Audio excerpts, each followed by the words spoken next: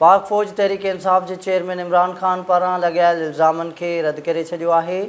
आई S P R तरफ़ां चयो वियो आहे त इदारे मथां बेबुनियाद ऐं गै़र ज़िमेवाराणा इल्ज़ाम नाक़ाबिले क़बूल आहिनि इल्ज़ाम वणंदड़नि ख़िलाफ़ु फौरी तौर ते कार्रवाई कई वञे उन हवाले सां वधीक तफ़सील वठूं था ऑनलाइन इंडस्ट्री जे bureau chief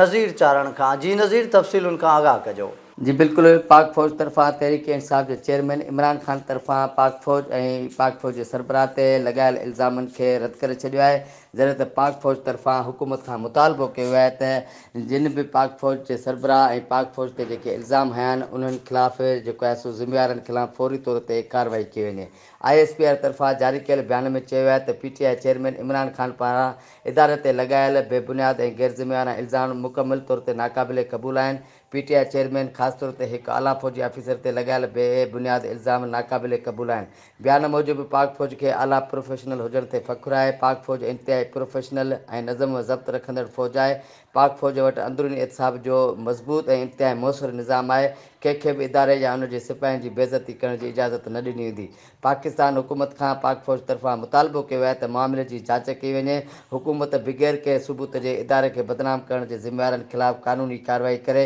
I S P R मौजूब इदारनि ऐं एलकारनि ते लॻायल बेबुनियाद इल्ज़ामनि जी सख़्तु लफ़्ज़नि में मज़मत कयूं था ऐं इहो इदारो आफ़ीसरनि ऐं जवाननि खे मुकमल तहफ़ु ॾींदो ऐं जुआाननि जी हिफाजत कंदुमि